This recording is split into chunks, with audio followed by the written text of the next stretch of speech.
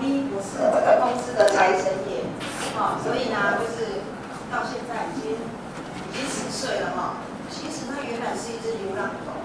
人家不要的，因为它是皮肤就是先天过敏，所以皮肤会溃烂。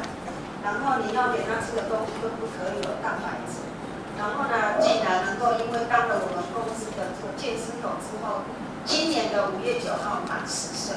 好，所以呢，我要让各位知道，在人生的过程当中，也许不经意的一件事情，